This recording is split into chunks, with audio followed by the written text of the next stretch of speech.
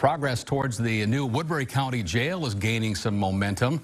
The Jail Authority Committee entering contract negotiations with Minnesota-based underwriter Piper Jaffray and bringing bonds to market and with the Baker Group to supervise the actual building process. Members of the jail committee saying that both have local ties that would keep much of the work as local as possible.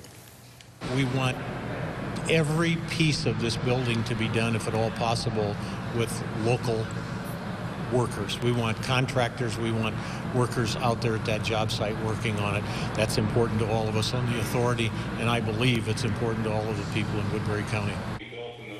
The next steps in that project to finalize the lease with the County Board of Supervisors.